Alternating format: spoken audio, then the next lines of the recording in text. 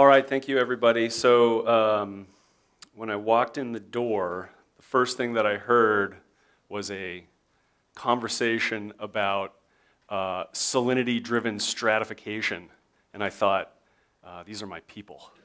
this is deeply exciting. Uh, I hope the presentation, though, is, is sort of detailed enough, but I've made it shortish, so we have plenty of time for extra questions and discussions. But as the title implies, um, I'm going to focus on sea level rise and specifically on some uh, new, uh, an, an updated assessment of sea level rise that we are working on that's intended to be statewide that follows up on some of those localized assessments that were referenced, which I'll also um, reference um, further along in the talk. An alternative title, um, which many of you are probably aware, uh, or why you should care about Antarctica. Um, why after this talk, uh, hopefully you decide to become a Antarctica watcher. Um, so first of all, just a, a little bit more uh, about Sea Grant in case you uh, are unfamiliar with it. I'm guessing many of you are. I work for the Sea Grant program, uh, University of Washington-based program. We essentially try to do two things. We try to make this connection between communities and science, uh, specifically on issue, marine issues that communities need to manage around. As was mentioned, I work in the area of coastal hazards, inclusive of climate change hazards or climate change related hazards, uh, also tsunamis, chronic erosion, that sort of thing. We also uh, fund marine research. And then, um, you know, a lot of what I'm going to mention today is based on work that I did as part of these sort of local scale uh, climate change assessments that were mentioned, one for the Jamestown tribe, and then we did one uh, for um, a resource conservation district that covers the North Olympic Peninsula, and then one for Island County. And now we're trying to sort of take these methods, many of which I'm going to describe to you, uh, and do a, a, statewide assessment. This is really sort of like an impacts assessment. How much sea level rise do we expect? What are the uncertainties? Um, but then, you know, ideally, communities take that information and do a vulnerability assessment and adaptation planning process, which is really where you start to identify what's valuable in the community, what's at risk, and then what options do we have for addressing it. And then so this is the, uh, the project, this regional resilience project, NOAA funded, is the project in which we're attempting to take some of these uh, tools that we created as part of these local assessments and move them statewide. Um, this regional resilience project um, is a big tent project. It's got a lot of partners um, represented by all the logos on the side. And uh, it's got a whole variety of objectives, most of them focused on um, once you have sort of sea level rise assessment information, impacts information, how do we go about the process of, of moving that into sort of the community sphere so that you're actually planning with it or doing something with it. That's the bulk of this project, although what I'm going to focus on today are the top bullets, which are focused on that uh, impacts side of the coin. Okay, so let's get started though with sea level rise, which I blame on these two guys. Um, some of you may know these fine looking gentlemen. Uh, John Tyndall was, uh, was the guy in 1864. He was a chemist and he was interested in the properties of, of, uh, of substances. And he, and he uh, did an investigation about the properties of carbon dioxide gas. And one of the things he found was that if you passed heat energy through that gas, not as much came out the end as you put in. So some of that was absorbed by that gas. So he wrote up a paper, published it. It sat around for 30 years until, or somewhere around 30 years, a couple decades, um, until Svante Arrhenius picked it up and made uh, what I view as sort of the big uh, leap that we now sort of uh, know as the conceptual model for climate change. He was the one that said, hey, if what John wrote about this gas is true, and we pump enough of it into the air, we can warm things up. Uh, we could warm up uh, our surroundings a little bit. He was from Denmark, and he thought that would be just the greatest thing. um, and he thought, you know, he sort of viewed it as a way to tinker with the environment, uh, uh improve agriculture, um, but he's the one that made this leap and did the calculations to show that it was possible based on um, uh, you know, potential emissions of carbon dioxide effects, effectively. Um, so I really sort of you know, attribute the conceptual model of climate change that we now use to Svante Arrhenius. This is that conceptual model. Uh, many of you have probably seen this or much more complex models of climate change. The um, panel furthest from me is intended to sort of uh, uh, um, um, show this notion of a balanced global energy budget where you have the sun um, uh, emitting light energy, which is being taken up by the global system, represented here. The Earth warms up and then re-radiates that heat energy back out into space, represented by this arrow.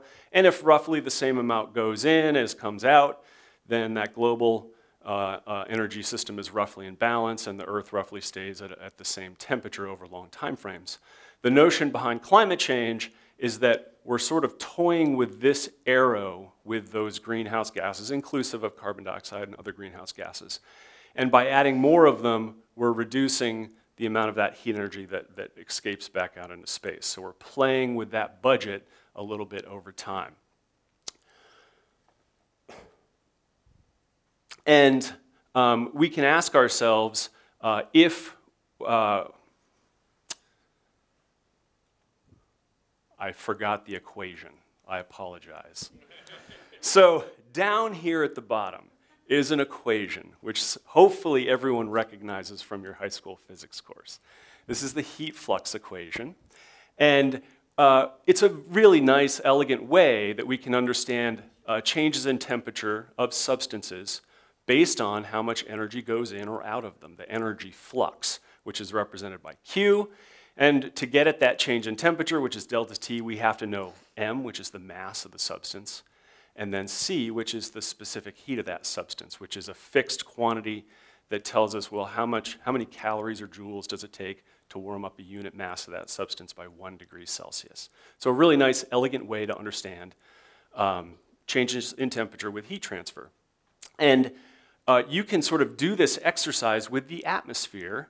Uh, and if you know that sort of change in the Earth's energy budget due to playing with this arrow, then we should be able to calculate the change in temperature of the atmosphere over some time frame. And people smarter than, than I have sort of worked out those budgets to understand uh, how much extra energy we've sort of built up in the Earth's atmosphere over the last, say, 50, 60 years. And you can, so you have that value Q, and then you can just Google the mass of the atmosphere, get that, and obviously the specific heat of air. And if you do this equation for the atmosphere, you find that that delta T, that change in temperature, should be on the order of about 70 degrees Celsius since about 1960. 70 degrees Celsius estimated change in temperature based on this estimated uh, energy imbalance in the Earth system due to climate change since about 1960. Has the temperature changed that much? Of course, the answer is no. Um, and there's, uh, uh, the re I already sort of gave it away because I showed you this already. But the reason is embedded in this particular uh, uh time series.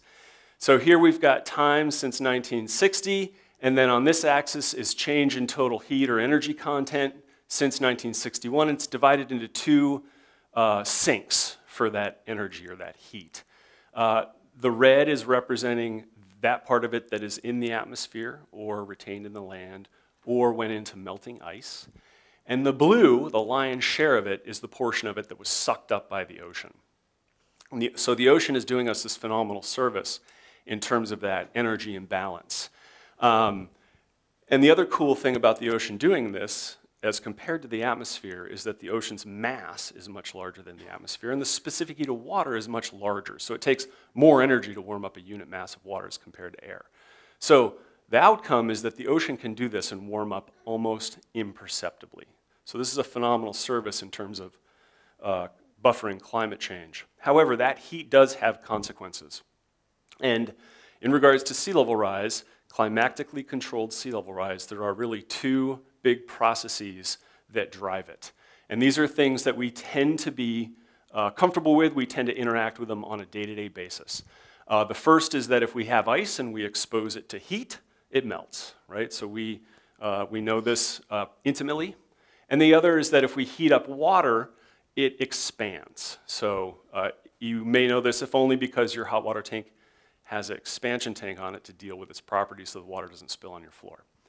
So if we think about this on a global scale, we can actually see these two processes at play in terms of observed sea level change globally. And that's what's depicted at the bottom. Here again, we have a time axis on the bottom. And then global average sea level change. This is measured in millimeters. So this axis is on the order of about an inch. This is a, about a 10-year time series. And there's four lines here. Um, this blue line at the bottom, which you can barely distinguish from the purple, but it's doable. This blue line at the bottom is an estimate of the change in the ocean's uh, average elevation effectively due to warming, so due to expansion.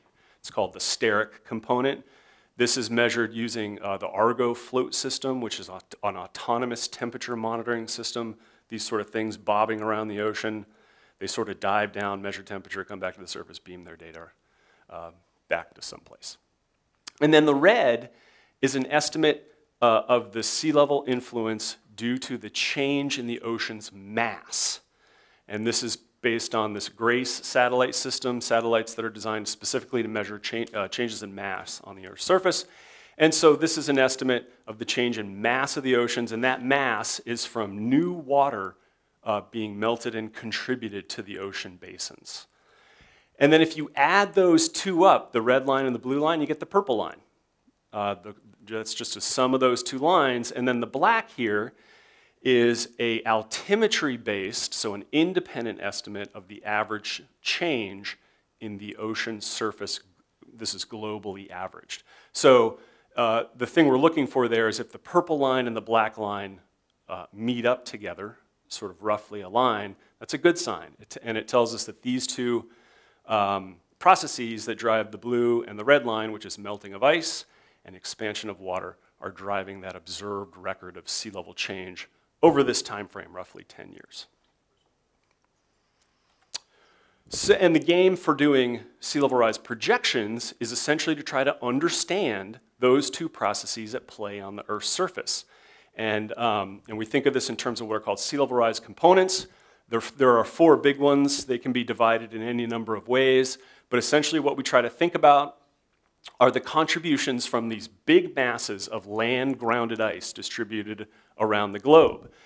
Greenland, shown here, Antarctica, shown here, mountain glaciers, shown here. And then the other component shown here is this, this steric component, this, this thermal expansion component, and its contributions to sea level rise. So for each of those, you try to understand the climate influences on that component. You add them all up and you come up with some kind of sea level rise projection, often communicated like it is down here, where you have, in this case, you have an observed record, time axis on the bottom, some distance unit along the side, and then you've got a set of projections here represented with these blue polygons. In this case, there are three different sort of methods for doing this process, three different sort of processes, if you will, different sets of assumptions and you can see they sort of give you slightly different answers. And the key thing I want you to note here is the uncertainty, right? Especially as you move further and further away from the present, we have more and more uncertainty in terms of what to expect. And that's largely driven by uncertainty about how climate interacts with these processes or these components. Turns out that it's hard to understand how something like Antarctica responds to climate change. Uh, it's not an easy thing. Now, why do we care only about land-grounded ice? So I, wanna, I, I have a little demonstration here. This may be sort of intuitively obvious, but it's always fun to have like colored water and do things. So let's, let's do that. So we're going to create two ocean systems. And let me say this is in contrast to sea ice, um, which uh, there's a lot of on the Earth and um, often gets conflated with sea level rise. So we've got two ocean systems here. I've made the water blue just so you can sort of see it. And in one of them, I've got my sea ice system right there. Jeez.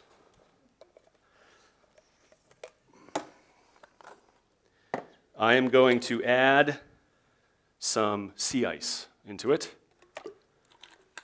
without hopefully making a giant mess. All right.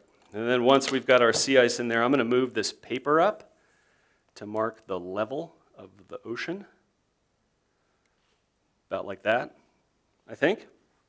All right, my other system is going to be a land ice system. So in this particular system, I'm going to have a continent, this funnel, and I'm going to add my ice to that continent. And then I'm going to mark the level of the ocean. And then basically, as I continue along here, blowing a lot of hot air, the ice in both of these is going to melt, and we're going to be able to observe which ocean changes level as that ice melts, right? So when you think about it this way, it starts to become obvious and sort of intuitively obvious about what we care about in terms of sea level rise. In this particular system, and this is analogous to the sea ice system, if you will, as that ice melts, it's already displacing water. So as it melts, we wouldn't expect to see any change of the level of this ocean. In this particular system, this, uh, this water is going is going to be adding to the volume that's already in here. And so we would expect to see the level change here. So this is going to be representative of, of Greenland, Antarctica, at least the components that are grounded on ice, mountain glaciers, whereas this is analogous to sea ice. And I only bring this up because this is frequently misrepresented in the media. Uh, sea ice is, um, is an important climate change indicator, but uh, sea ice patterns don't have anything directly to do with sea level change.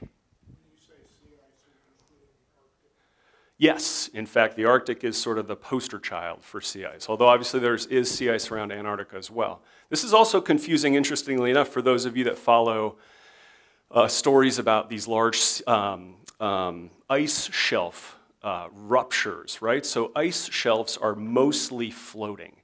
And so when those things sort of break off, uh, they do not themselves directly contribute much, if any, to sea level change. The concern, though, and the reason that they are important from the standpoint of sea level rise is because they're thought to buttress or hold back some of the land grounded ice that is behind them. And the thought is that when those break off and float away, that that allows that ice to accelerate, which does add new volume into the ocean. So it's kind of an interesting sort of uh, thing to think about.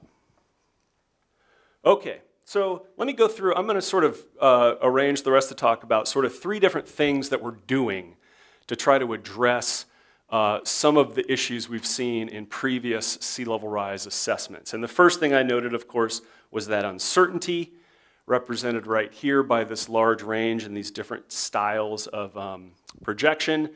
You know, this was represented in uh, the first sea level rise assessment that we had for Washington State, the Mote report published about 10 years ago shown right here. This is freely available online. It's a really nice document, really uh, actually fairly commonly cited in documents like shoreline master plans in Washington state, but really didn't seem to sort of make its way into significant vulnerability assessment.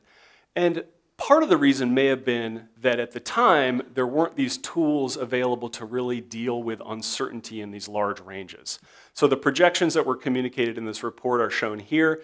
They've got 2050 and 2100, and then a scale that goes from 3 inches up to 50 inches, so a little bit over 4 feet.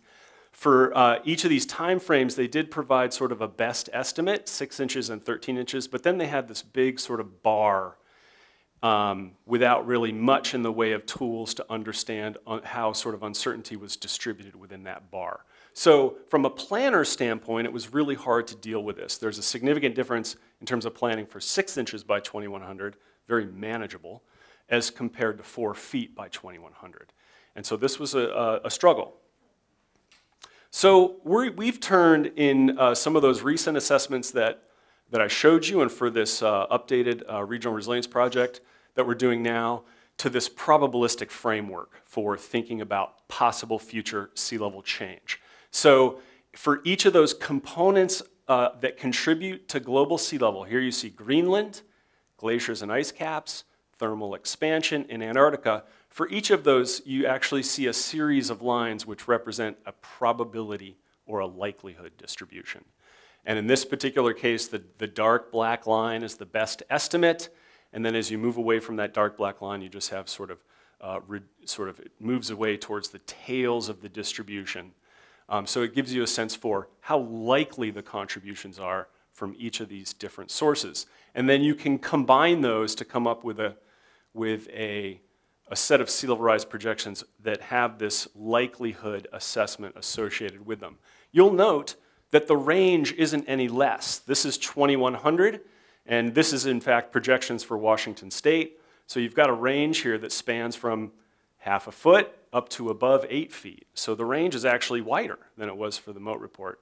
But the distinguishing feature here is that if you look at the legend, each of these lines has a likelihood assessment associated with it. So from a planning standpoint, the notion is that uh, we're at least providing information for perhaps some more nuanced vulnerability discussions, some uh, cost-benefit sorts of discussions, that sort of thing. You'll also note that our sort of most, our best estimate and most likely range is still here in this two to three foot zone that's been uh, sort of a feature of sea level rise projections for at least 10 years or so, somewhere in that two to three foot zone. But there's this much sort of can't, can't be excluded higher magnitude sea level change possibility, lower likelihood based on this assessment. And for those of you that are sea level rise nerds, and there may be some of you in the room, you'll note that this is up where um, some, there's been a sort of some papers published in the past three or four years that provide mechanisms for reaching these higher magnitudes of sea level rise and even suggest that there's a higher likelihood than maybe we think. Uh, but that's where those sorts of um, those sorts of papers kind of live, is up in that higher magnitude zone. I, I also should point out that there's also an observed record here, uh, which is based on Washington State tide gauge data, uh, in this case with the vertical land movement components taken out.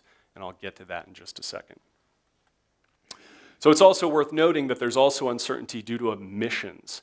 The uncertainty that you saw on the previous slide is only the uncertainty due to how little we know about processes that drive sea level change.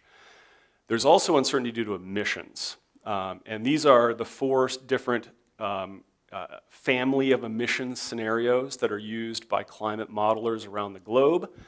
These are, so you've got time along the bottom, and then you've got sort of a CO2 uh, concentration estimate for these four different emission scenarios. Interestingly enough, for sea level rise, it's relatively insensitive to emission scenario. There is some benefit to mitigation, but if you look at some of the projections, the suggestion is really that we should still be thinking about sea level rise almost regardless of what emission scenario we end up following over the next uh, century.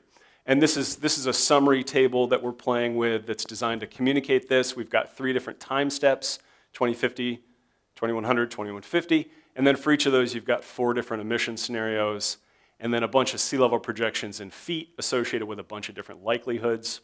Um, and you can sort of look at kind of any of those likelihoods and get a sense for the variability across those emission scenarios. And you'll note that there is, you know, there is some benefit towards mitigation if you look at the variation, but we still have sea level rise planning that we probably should be doing almost regardless, what we call adaptation planning, regardless of what emission scenario we end up uh, actualizing in real life. Okay, so now let's turn our attention a little bit more regionally um, and notice a couple of interesting things. So this upper plot here is the satellite altimetry-based estimate of global average sea level change since the early 90s. This is a satellite-derived estimate globally average. So you've probably heard or seen this. This gives us that number of three millimeters per year that's commonly cited as a global average rate of sea level change, roughly eight to nine inches per century or so. Um, however, if you take this global average and you break it down spatially across the planet, some interesting things start to emerge. And that's what this map at the uh, lower right is intended to convey. So here, those rates are now shown as a, a color scale, with hot colors being faster rates of sea level change on the order of 9 to 12 to 15 millimeters per year, and cool colors being actually sea level fall. And you'll notice that there's a lot of spatial distribution to that pattern. There are places where the rates are much higher, especially like in the eastern Pacific, and then there are parts of the globe where that sea level pattern suggests falling sea level, and then we happen to live in an area where it appears we're sort of hovering around zero over that record, maybe a little bit more than zero, but lower than the global average. So what's going on here? Um, what drives this kind of pattern? Well, there's a couple different hypotheses out there, but one of them certainly is associated with what we call sea level fingerprinting. And so um, this is a, uh, I think, something that gives you headaches, but bear with me for a second. So the way to think about this is uh, I think about it as ice hugging the ocean. So the notion is that you have these large masses of ice distributed around the globe. This, this particular map is related to Antarctica. Down here, massive, massive pile of ice, essentially. And as that, uh, as that pile of ice melts and its mass starts to distribute in the ocean, the mass of that ice changes. And the mass of that ice is so large that it actually has an influence on the gravitational field that's affecting ocean water globally. So the notion is that if you imagine uh, uh, sort of melting one inch of sea level rise equivalent water volume off that mass of ice, everywhere around the world does not see one inch of sea level rise. It's in fact distributed based on this color bar that you see here. So places nearer to Antarctica actually experience sea level fall, which is a mind-boggling thing to ponder, right? And then places that are further from Antarctica experience, in some cases, a little more than an inch. Um, like we live in an area that would be expected to see more than an inch based off of Antarctica melting an inch equivalent of sea level, global average sea level rise, right? So this is one of the reasons why Antarctica matters to us. Interestingly enough, if we look at the equivalent for Greenland, so here you see that same pattern of Greenland, uh, of sea level falling near Greenland as it melts. And you see that we, though, uh, oh, the scale got cut off. It's back here. It's a little yellow. So we see less than an inch from Greenland melting an equivalent of an inch of sea level rise from its ice. So this particular process probably partially accounts for those patterns that we observe in the altimetry uh, map that I showed you. And it also leads to um, projections like this. This is a real common um, feature of sea level rise projections when we compare the global projection versus our regional projection. This is comparing the global versus the Strait of Juan de Fuca. Right, this is right around the best estimates for 2030, 2050, and 2100. And you can see in all places the best estimate for the Strait of Juan de Fuca is a little less than the global, right? So that's um, maybe good news. I don't know, it's kind of different ways of looking at it, right? Um, maybe good news for us. Uh, these best estimates, though, frequently assume that Antarctica does not contribute that much. And so that's another reason why Antarctica really matters to us. If Antarctica becomes a big contributor to sea level change, we see a little more than the global average. Another reason, yet another reason to pay attention to Antarctica. Okay, so finally, let's uh, get local. Um, so we have to build those kinds of considerations in when we're trying to project sea level rise for use at community planning scales here in Washington. The other thing we have to take into account is what we call, uh, well, we have to think about this in terms of relative sea level change. And relative sea level is the water ocean's water level measured against the land. That's really what we care about when it comes from the standpoint of a community. And this is a schematic of a tide gauge. Tide gauges measure relative sea level directly. The tide gauge may actually be moving up or down with the land, even as the ocean is moving as well. So we can think of relative sea level as being a function of what we call absolute sea level, just what the ocean is doing and then that vertical land movement component, VLM. So we can see this embedded as well in some of our long-term water level records from around Washington State. These are from the NOAA Tides and Currents website, um, which some of you may be familiar with. Cherry Point has a tide gauge, and so um, um, a great place to look for long-term water level records, temperature records, you know, daily water level, what have you. And these are the long-term records from Seattle and Neah Bay in this particular case. I chose these because they're uh, two of our longer water level records in Washington state. Seattle's our longest, dates back to 1895. And then Neah Bay is close, dates back to 1937, I think. These are monthly average water levels. And um, you'll notice two different trends associated with these two different tide gauges. And those differences where uh, uh, sea, relative sea level in Seattle is rising, and relative sea level in Neah Bay is falling over these time frames, and these are due to differences in vertical land movement between these two communities. So when we start to think about community applications, what we actually need to do is estimate the vertical land movement component and build that into projections for community, especially if that community is going dramatically upwards or dramatically downwards.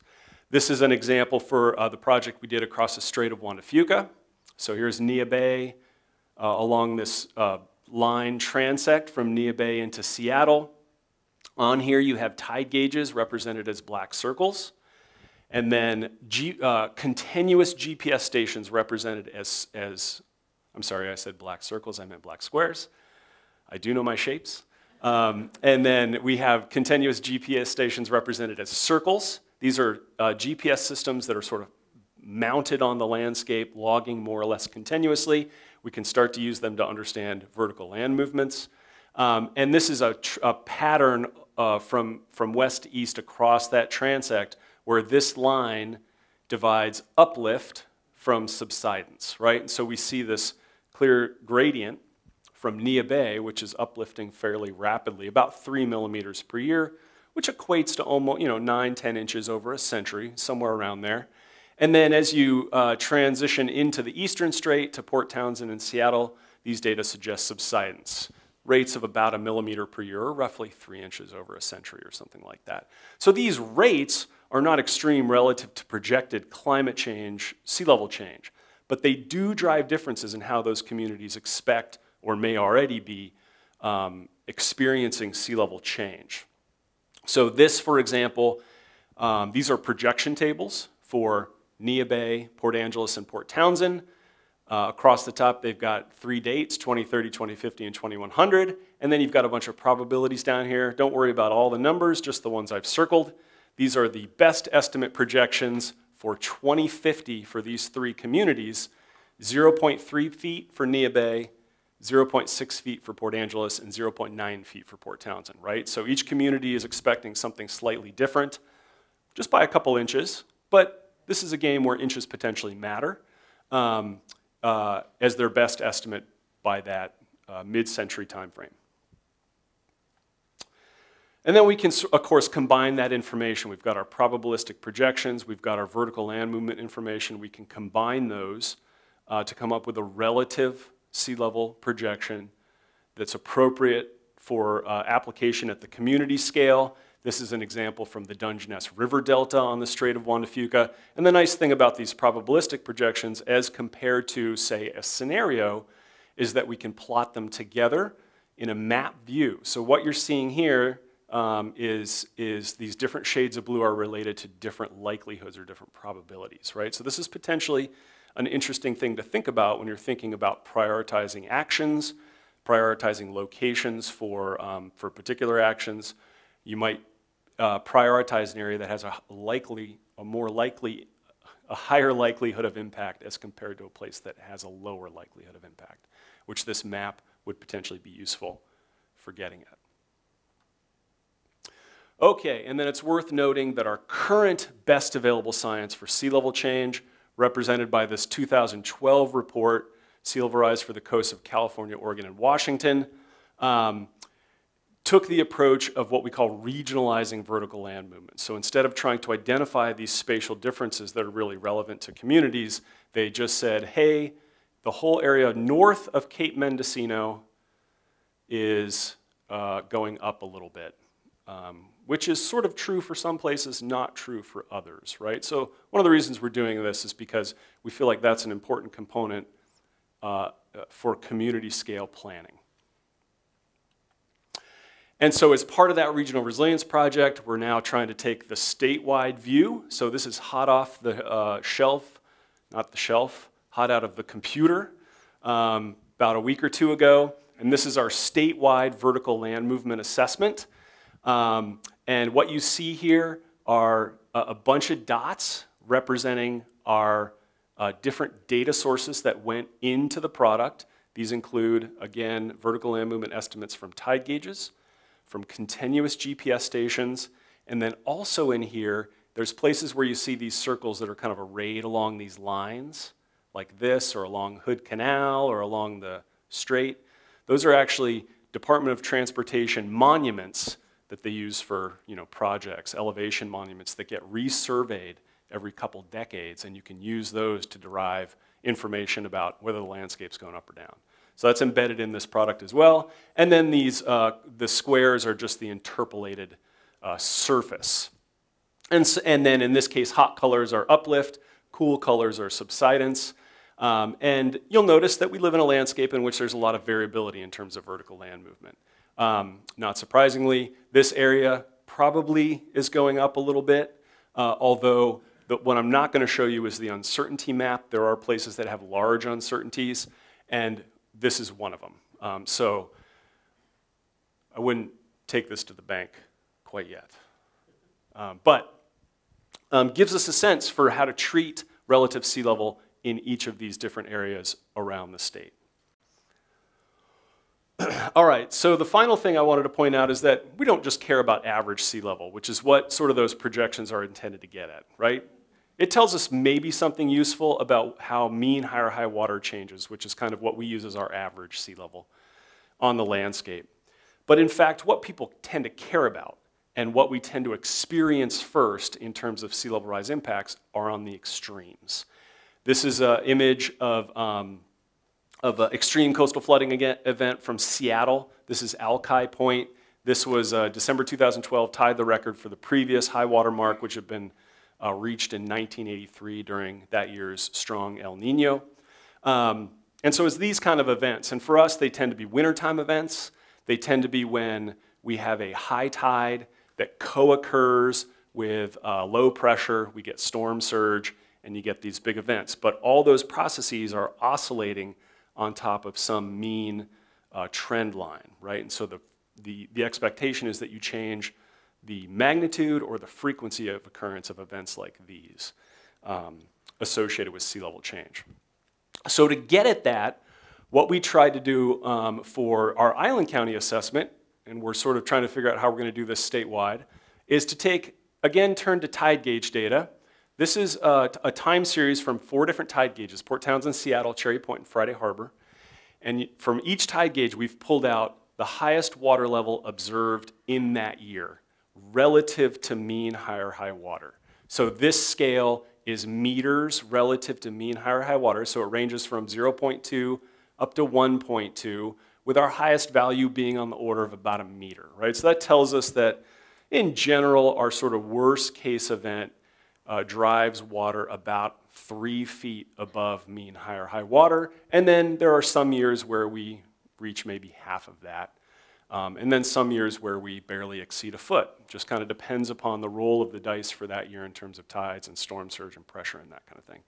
But what we can do is we can take all those observations and we can plot them as a histogram, which is what you see here, where now we've got that um, height above mean higher high water on this axis, and this tells us the number of events.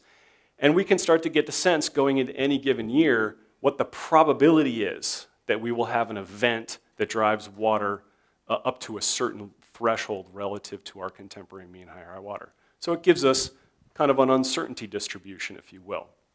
We can merge that directly with our sea level rise projections, also in that kind of probabilistic framework, to come up with an assessment of how extreme water level will change uh, uh, when we start to take into account sea level rise and its uncertainties. So that's what we've done here. Um, this is the same table you saw before for these three separate communities, and we've, we've now added our current, um, what we call extreme annual coastal flood magnitude. This is in feet, and so these are associated with a probability, and then here we've just coupled them with our sea level rise probabilities. Um, and you can see that the numbers are a little higher than for that, the, the mean sea level change. That's because these are your once a year extreme events whereas this would be a way to get at your expectation for your daily high tide inundation. So they tell you something different about different types of impacts. We can also map that kind of information. This is for Port Townsend, 2050. Here down here at the legend, we've got our different levels of likelihood. And Port Townsend's a relatively steep landscape, as characterizes a lot of uh, uh, coastal Washington. And so in this particular case, you see there's really few vulnerabilities for mean sea level that emerge if you were to examine a map of Port Townsend. But when you think about that extreme annual event, you see some vulnerabilities that emerge. Um, and the key thing is, but you could compare this, for example, to either the modern day map or a, something like a FEMA flood map and get a sense for where new vulnerabilities emerge, right? And those might be places where you may want to target uh, vulnerability assessment, adaptation strategy planning. So, oh man, I missed, got that wrong. Anyway, thank you. I think that says questions, discussions, or arguments. Um, I put that there because I gave a talk to the Sequim Bay Yacht Club on Tuesday, who are not as receptive an audience as you are for uh, a sea level rise topic. and so I wanted to sort of, you know, urge their arguments. so anyway, thank you so much. Um, I think we have a few minutes for uh, questions or discussion if there are any. Oh, and you can also, of course, continue to check out the ocean system for the next 15 minutes. yeah. Oh. Uh, Thank you. Uh, This is, some- uh, this question is kind of in the realm of your obvious, but I'll ask it anyway. What effect on storm surge events does Yeah. rising sea levels have? Does it make them worse or, make- or, or are they relatively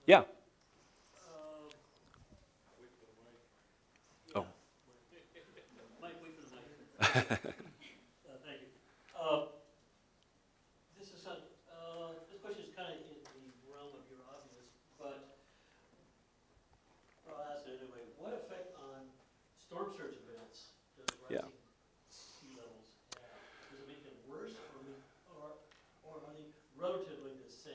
So we are assuming uh, that they are relatively the same. That is an assumption, um, but that's largely because we haven't had a specific test of that hypothesis. There has been some work to look at any potential changes to historic, like whether there's been any uh, historic uh, changes in the historic record that we get from places like Seattle, or most of the work's, work's been done for San Francisco, because it's got the longest water level record on the West Coast.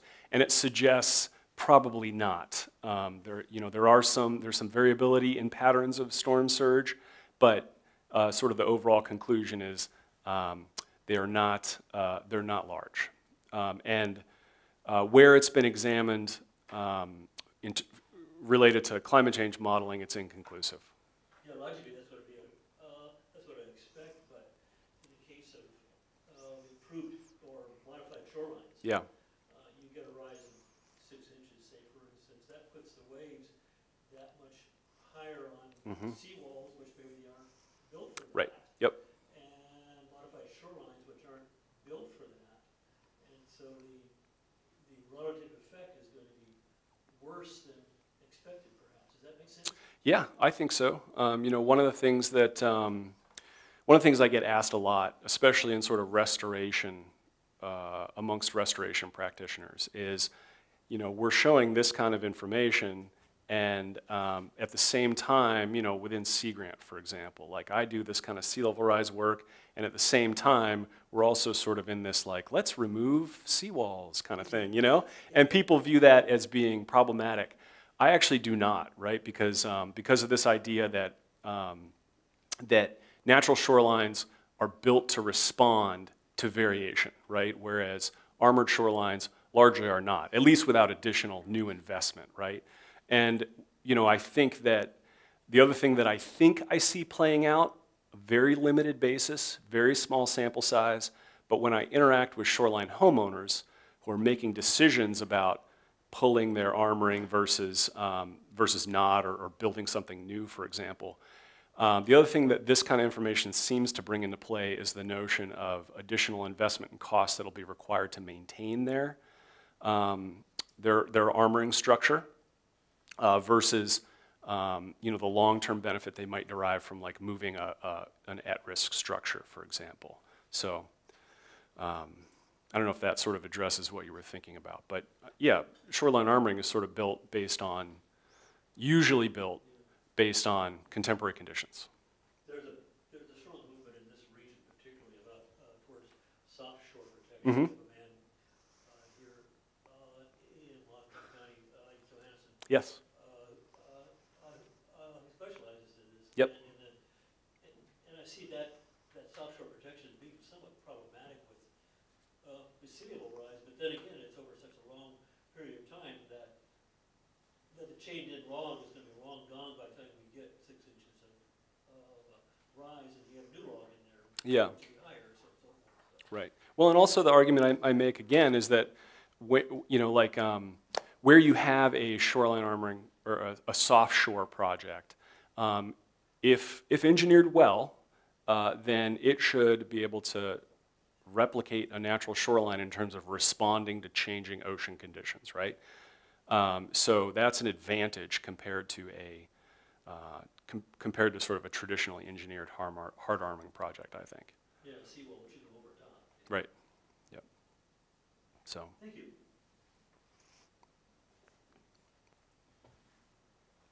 Yes, have you uh, looked at or worked on the project in Birch Bay that is, uh, wants to convert the existing shoreline, which features a lot of, uh, I believe they're called, there's some kind of jetty that extends out. into- yeah. I was wondering if you had worked on that. I haven't. I've seen the, uh, some of the engineers present on it. Um, and, and actually, they're, they're, um, they're one of the early designs in which they tried to consider sea level rise projections. You know, there's a lot of effort right now within sort of the restoration and engineering community to try to figure out, well, what do you do? How do you build this kind of information into your designs? And that was an early project in which they attempted to at least make an effort to do so. But I've only ever seen presentations on that project.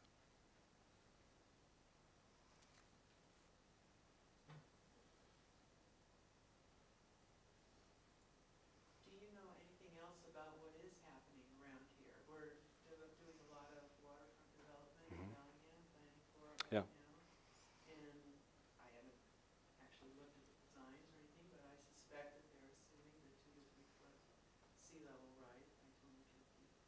I don't know what they're doing about that, but do you know if we have any vulnerability assessment up here, or is anyone even looking? You know, I've had contact with a few folks that work for, um, I think, uh, I, I want to say the port, I could be wrong, and the name is escaping me at the moment, um, who uh, were planning some level vulnerability assessment work. I don't know if it's actually started. Um, if I think hard enough about it, I might be able to come up with the name of this person. Necessarily be involved in it. No, not necessarily, no. And in fact, ideally, you know, like, um, that's certainly something that we could, um, that we could do, but uh, oftentimes those processes are really ideally done very locally, right? Uh, because one of the primary things you want to get out of that is, as part of your vulnerability assessment, you want to get a clear sense about what is valuable, right? And value has lots of different metrics associated, lots of different ways to measure it. So the thing that I always jump to is with the Jamestown S'Klallam Tribe when we were involved with that project. And here, there, I was just doing this kind of impacts assessment stuff, like what do we expect? Um, it was, it was a, a, a comprehensive climate change. So they didn't just consider sea level rise, they considered other climate change uh, associated impacts. There, um, you know, perhaps not surprisingly, one of their key vulnerabilities that emerged was, emerged was associated with salmon. And uh, they are not, they don't make a lot of money off salmon, right? So it wasn't an economic value, it was very much a cultural and spiritual value that drove that decision to focus on salmon uh, as, a, as a vulnerability. So those kind of locally derived values are critical in vulnerability assessment.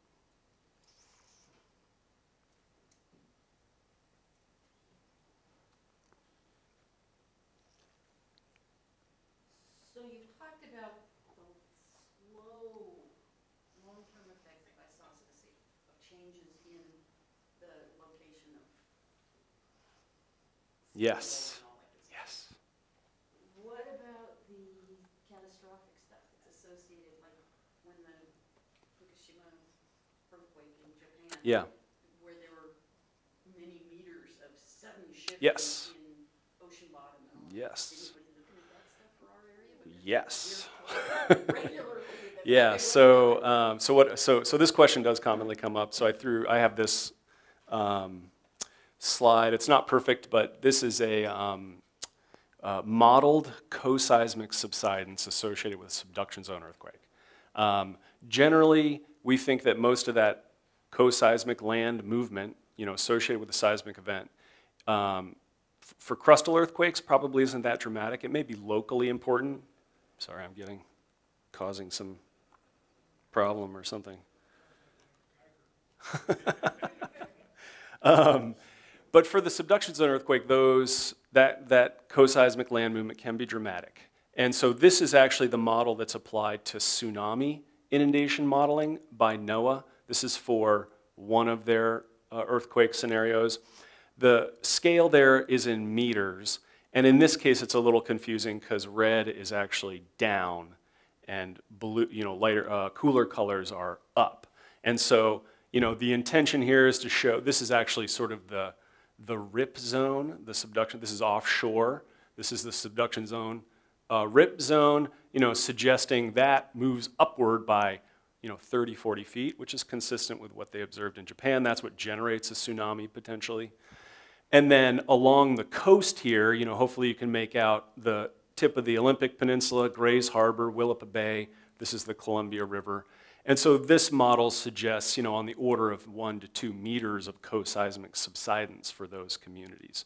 So more or less instantaneous drop. That dramatically changes their relative sea level pattern. Um, and you can see this in tide gauges too, from Kodiak and San Francisco even, where you see that pattern. Um, You'll note, though, that the modeling suggests that that signal doesn't make it very far into the inland waters. And um, there's a, lot of effort right now to try to see if um, by using, um, you can go into salt marshes and core to try to find tsunami deposits. And those tsunami deposits, in some cases, actually tell you about subsidence. And thus far, where that's been done for salt marshes in Puget Sound and Hood Canal, the evidence has been very, very weak that, that, that there's probably much subsidence associated with these large events for the, um, you know, for the basin, for Puget Sound Basin and, and sort of the inner waters. But for those communities on the coast, this is something that we should be building into sea level rise work. Really hasn't been done yet. Largely tsunami planning and sea level rise planning have occurred separately, but certainly we're trying to figure out how to bring them together. Oh, okay.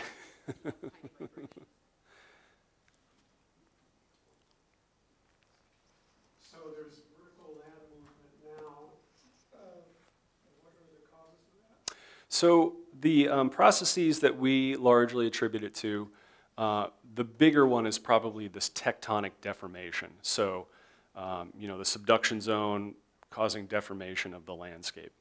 Um, there's also a glacio-isostatic adjustment signal associated with deglaciation, probably still occurring from, um, you know, 16,000 years ago or something like that when, when you know, glaciers left the landscape. Um, that's probably a, a smaller fraction of the signal. And you know, we don't necessarily try to separate them out. Um, there are GIA models out there uh, there are tectonic deformation models, but we don't make a giant effort to try to separate them out. We're just looking for that measured uh, signal, uh, whatever the process that drives it. But certainly like the pattern that we see that I showed you for Strait of Juan de Fuca where you have uplift and subsidence on, on the east side is consistent with tectonic deformation. But I don't know if you noticed, but in Puget Sound, if you look south to north, there is some suggestion, I think I have a laser beam, there is some suggestion of a gradient from south to north, subsidence to uplift. That would be a consistent signal associated with like a glacio-isostatic adjustment. Yeah. I'm interested in the red dotted at Point Whitehorn. Oh, up here, yes. Yeah. So what's that all about? Yeah, so, um, so as I suggested, the, each of these dots is an observation. Um, I don't know uh, what that one is off the top of my head. Um, it's probably a GPS station because um, Cherry Point tide gauge, well, that is that Cherry Point tide gauge? So, that, so their tide gauges are in here. Anyway, I don't know if that's a tide gauge or a GPS station. It's not a leveling station. Um, there are no leveling data from up here. But um, there are places where we get discrepancies between an individual observation and our kind of best estimate surface. And in some cases, we don't necessarily know why that is. And one of the conversations we're having right now is how much confidence to ascribe to one observation that doesn't align with the others around it. Um, you'll, know, you'll note that this sort of is very different from these other observations around it. Yeah, And there are other places where that occurs. Um, you know, down here, like Southwest Washington is really problem, a problematic area. Um, that drives, so we have an uncertainty map, and there are large uncertainties for this region, and observations like that drive the uncertainty. Um, so, but it could be a local, very local thing occurring. If it is the tide gauge, it could be associated even with the tide gauge settling or moving in some way, shape, or form. Um, it could be associated with local faulting or local land movement. Um, There is a newly defined, um, there are actually three of them, and one of them goes along that line of blue, green, yellow. Mhm. green. And notice that orange one over there, we've been having earthquakes out there right, Mhm. right at that point. But there's a newly defined fault that runs parallel to the coastline right Yep. there along that part of. So it's, it could be something local like that, certainly. So, but largely we sort of go, we don't know. um, there are some like this, you know, these kind of dots right here, which hopefully you see as being associated with um, uh, volcanoes in those cases. Yeah.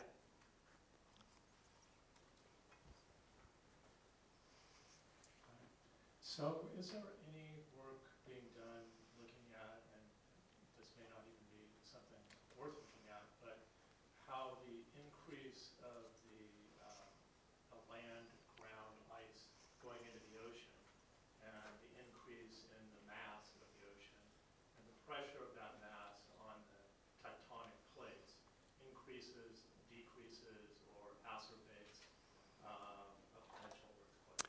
Yeah, so um, nothing that I've seen that I have felt like was compelling, right? There is every once in a while, there are these sort of like, um, you know, people that sort of, um, well, there's always this recurrent, whenever there's a, like a subduction or earthquake, there's always this recurring thing that seems to go around about the tides and the relationship between tides and earthquakes. But, uh, and I don't do this kind of work, but, um, you know, USGS does, and they're always like, not true. Uh, there is no relationship between the two. I don't know. I tend to trust USGS. Um, so largely nothing that I've seen that's been compelling. Um, but again, that's not necessarily an area in which I work, so um, I wouldn't hazard too much detail until I had a chance to dig into it a little bit.